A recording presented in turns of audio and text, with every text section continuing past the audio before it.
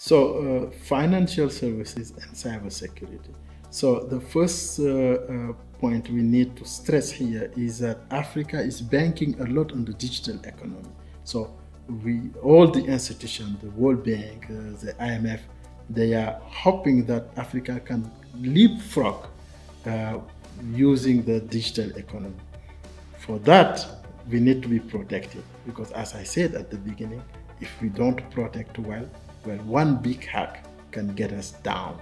So, and uh, so, financial inclusion is one of the most important uh, aspects actually when it comes to the digital economy. Actually, it is uh, one that addresses eight of the 17 sustainable sustainable de development goals that the World Bank has set. So it is a big deal.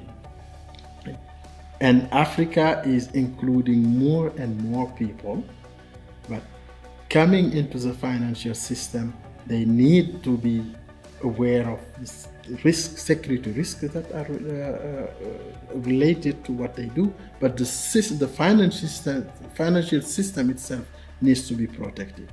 And we are in a continent where, for example, the users they they they are new to the system the, the, the institutions they do not have all the infrastructure that they need to protect themselves they do not have all the people so thinking about uh, cybersecurity for for the financial sector is of paramount importance when it comes to Africa. And that's one of the reasons, or the main reason why we are holding this conference on October 22nd.